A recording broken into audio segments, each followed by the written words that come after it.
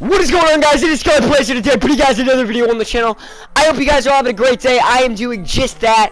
Without further ado, let's get into it. Because so I was on the web, you know, doing all my stuff usually, like when I'm uh, when I was about to go to sleep last night, and I noticed a big thing, man, that needs to kind of stop in the 2K community.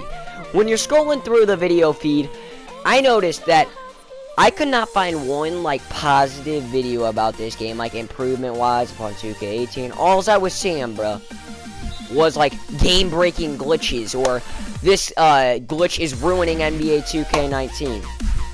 And I was just like, really?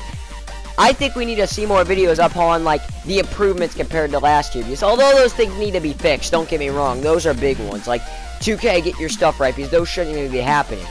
But I wanted to I wanted to add some positive to the game because although the glitches are occurring, they're gonna be fixed, and the game has mega major improvements already.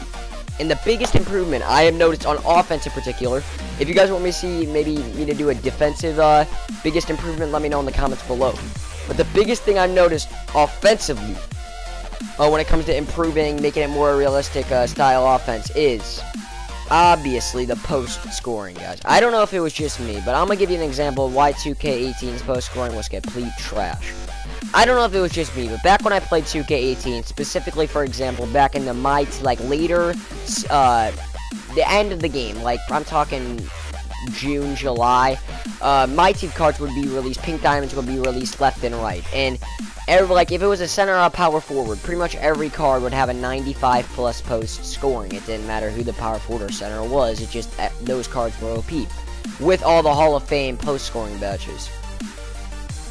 I copped a few of those cards, and the biggest thing I noticed from those when I was even doing my post phase, my post hooks, I missed 90% of my shots, uh, my post shots that I that I were taking. And I'm not, I wasn't taking bad shots, bro. I was out there really doing the good stuff. The only post that was effective in that game was the drop step. The Dream Shake up and under, you would do this stupid thing where uh, your opponent would jump late, but he would somehow get the block with like his hip. I don't know how to explain it. I think you guys know what I'm talking about if you played 2K18 uh, or play now, you will definitely understand when if you attempt the Dream Shake up and under. Well, why did I call it the Dream Shake up and under? That was stupid. That's the badge name that last year. But if you attempt the up and under, I don't. I haven't ran into it this year, but it, it probably still a thing, but not as common. If you like would attempt the up and under, you would get that stupid animation 90% of the time, and hardly ever you'd get a successful up and under, even with the Hall of Fame badge. This year, however, it's really different. Post scoring is so much more fluent, and you'll be able to make their post hooks and post fadeaways. Because last year, but you couldn't make their post hooks or post fadeaways. It was impossible.